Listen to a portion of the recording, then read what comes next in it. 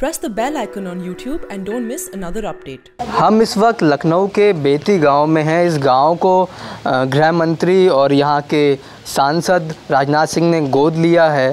और इस गाँव की स्थिति हम देख रहे हैं यहाँ पर क्या हाल है यहाँ लोगों से हम बात कर रहे हैं। भाई साहब ये बताइए कि जब से राजनाथ सिंह ने यहाँ पर गोद लिया है गाँव को उसके बाद यहाँ पर क्या सुधार हुआ? और पहले अपना नाम बताइएगा। मनोज कुमार। मनोज जी बताइए क्या स्थिति है? यहाँ से स्थिति क्या है आप ही देख रहे हो खुद है। खरंजे दहो रोड पर से खरंजा पर से पानी पूरा बह रहा है। हाँ। सामने से और नहीं पूरे गाँव में ना साली आज शीशे रोडे बन गए यहाँ कुछ नहीं हुए। तो किस मुद्दे पे वोट डालेंगे? कुछ काम वाम हुआ है? कुछ भी नहीं हुआ है यहाँ पे। हैं? क्या नाम है? सोनम। सोनम तो यहाँ पे क्या आपको कमी लग रही है?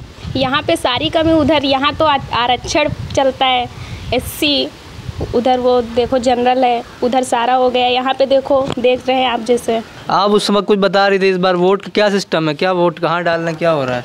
यहाँ कुछ नहीं हो रहा है दो तो आप लोग को दिख ही रहा है सब लोग कह रहे हैं कि वोट कहीं भी डालोगे मोदी के पास जाएगी तो हम लोग वोट कहीं डालो मोदी तो हाँ, ऐसा क्यों सोचती हैं आप? अरे तो सब लोग कह रहे हैं तो हम भी कह रहे हैं इसमें कोई गलत बात थोड़ी नहीं है। इस तरफ़ क्यों इतना ज़्यादा यहाँ पर उस तरफ़ काम हुआ और इधर काम नहीं हुआ? वो प्रधान के द्वारा हो रहा सब काम। जो योजना आई है सब प्रधान द्वारा आई है जिसके पंडितों के वजह से पूरा काम हुआ यहाँ कुछ नहीं हुआ है। बरसात में आप यहाँ आ नहीं सकते हैं। इतना इतना पानी भरता है। ये रास्ता है ये भी रास्ता है पूरी रोड अच्छा तक। वोट में आप लोग मतलब किस आधार पर वोट देते हैं? आप जब भी वोट वोटिंग करने जाते हैं तो? अरे वो जहाँ ढीलना वहाँ ढील दी जाती है। जैसे आप आगे मांगे आप कहना सही देखे ना तो आपको दे दिए ना जो भी मांगने हैं जो भी जो भी आता है जो भी आता है। वोट के लिए एक ट्रेंड भी तो माना था कि ये उसको वोट करता होगा ये उसको वोट करता होगा ये भी लोग थोड़ा अरे वो तो सब कई जब दो चार जने खड़े हो जाते तब तो मजबूरी है। क्या कहते हैं? कि भैया वो वो आएगी तो हमारे पास भैया हमको देना वो आए तो हमको देना। आप लोग के लिए क्या कहते हैं? भैया जो होगा वो करेंगे कॉलोनी देंगे लाइटिंग देंगे लाइटिंग अब की मिल गए है। और भी मोदी के द्वारा आई रहे हैं जो बारह हज़ार की तब से कहीं कुछ नहीं। अच्छा राजनाथ जी ने अब ये गाँव गोद लिया है। हाँ जी। तो आप लोग की मुलाकात उनसे होती हाँ हमारे दरवाजे से आए थे मिले थे। ऐसे मैंने बहुत बढ़िया ठाकुर है भाई। अच्छा। और अच्छा काम किया गलत अच्छा। काम नहीं किया। कितनी उम्र होगी लगभग आपकी? पचहत्तर पचहत्तर साल। तो यानी आप तो कई बार वोट डाल चुके होंगे। पचास साल से ज़्यादा आप वोट डालते आ रहे हैं। तो ये बताइए दादा कि जब से राजनाथ सिंह ने ये गाँव लिया है गोद उससे पहले क्या स्थिति थी और उसके बाद क्या स्थिति? वैसे पहले गड़बड़ रहा अब जो है आर सी सी सी सड़कें बन गई है। आर सी सी हुआ है यहाँ पे। दूसरी बात लाख बैंक का खुल गया है। बैंक खुला हाँ। लौट का टंकी बन गया है मुल सप्लाई नहीं है। टंकी बन गई लेकिन सप्लाई नहीं हो रहा है। क्या काम कमी रह गई? अबे बताइए कनेक्शन नहीं बहन पाइप पड़े हैं अधूरे पड़े हैं? योगी सरकार जो दो साल से है यूपी में उसका काम कैसा दिखा आपको? पहले अखिलेश थे यहाँ पे। अखिलेश का काम ठीक हो रहा है। अखिलेश का ठीक था। योगी जी? योगी जी का कोई काम हमें सही नहीं योगी जी काम नहीं। एक बड़ा चुनाव बड़ा चर्चा के विषय है मोदी फैक्टर जो बड़ा चर्चा का विषय है। हाँ तो वो आप तो उस दौर पे भी देखा होगा जब कांग्रेस की दौर था इंदिरा गांधी का दौर था राजीव गांधी का था। अब ये मोदी का ही बड़ा नाम है चर्चा में है काफ़ी। मोदी का वोट है। हाँ। मोदी के नाम पर ये सांसद जीते हैं नहीं जीतते ना।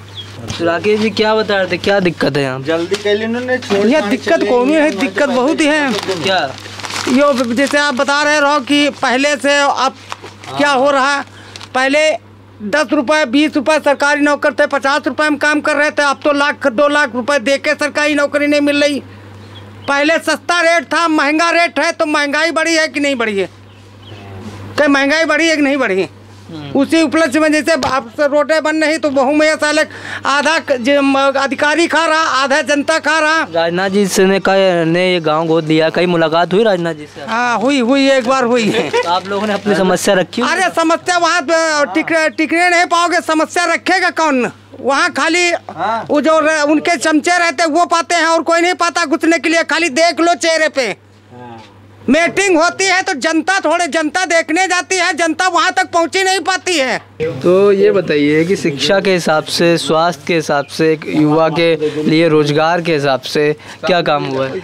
नहीं काम तो कुछ नहीं हुआ। वैसे अगर जो देखा जाए तो डेवलपमेंट के आधार पर कुछ नहीं हुआ। योगी सरकार इतने इतने ऐसे से हैं एक भी वैकेंसी नहीं निकाले हैं। एक भी रोज़गार के अवसर नहीं है सिर्फ़ कहते हैं स्किल इंडिया बनाने के लिए। प्रयास भी उनका नहीं चल रहा है। राजनाथ जी ने गाँव गोद लिया है। जी। तो कुछ काम वाम आपको यहाँ पे दिखा? राजनाथ तो यहीं रहते गोद लिया है तो हमारे गाँव में बैंक आ गई है। वैसे वर्क चल रहे हैं। जो उन्होंने दिए हैं वर्क चल रहे हैं पर जितनी प्रगति से चलने चाहिए उतनी प्रगति नहीं है। आदर्श गाँव जो- आदर्श गाँव बनाना था उनके पर बना नहीं पाए अभी तक। और इनको गोद लिए तीन या चार साल हो गए हैं।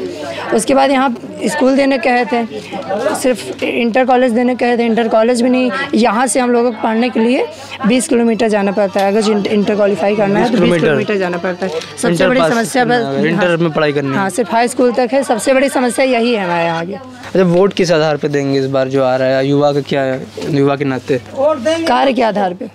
कार्य के आधार पे। कार्य के आधार पे कुछ कार्य दिखेगा तब तो तो जैसा इन्होंने बताया कि शिक्षा को लेकर जिस तरह से 20-20 किलोमीटर यहाँ पे दूर जाना पड़ता है तो एक इशू ये यहाँ के युवाओं के लिए आगे छात्रों के लिए है जिस इस पर हम आगे भी चर्चा करेंगे कि किस तरीके से यहाँ पर जो काम यहाँ पर जो नहीं हो पाया वो उससे क्या कारण रहे और चर्चा करेंगे। द प्रिंट के लिए प्रशांत श्रीवास्तव।